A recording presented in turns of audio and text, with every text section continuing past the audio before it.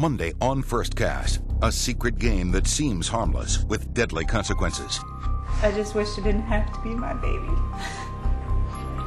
What every parent should know to keep their kids from playing the choking game. And coming up next week on KXAN News at 10, you trust your children with authorities, but should you?